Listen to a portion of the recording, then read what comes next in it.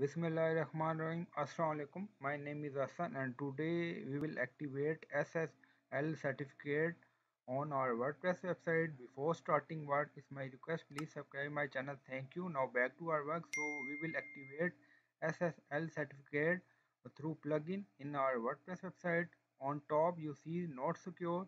So but if you have any certificate SSL certificate on your hosting then you will use plugin to activate it and you don't need to change HTTP to HTTPS in PHP my admin table.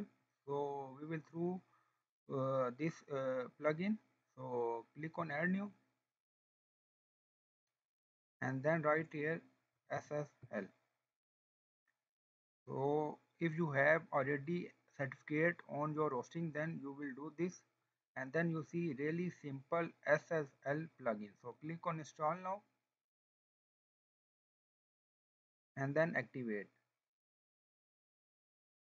So almost ready to migrate to SSL and here you see an SSL certificate has been detected because I have already certificate in my hosting that's why they show here and SSL certificate has been detected so if you don't have your hosting then they show that as uh, certificate has not been detected.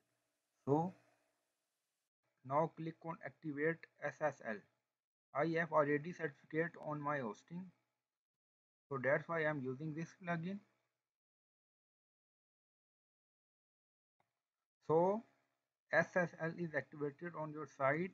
So in this way you can activate certificate on your website and on top you see lock icon and now connection is secure.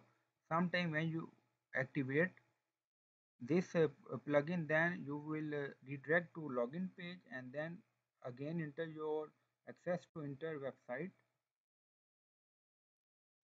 I hope you like this video. Please like comment share and subscribe. Thank you for watching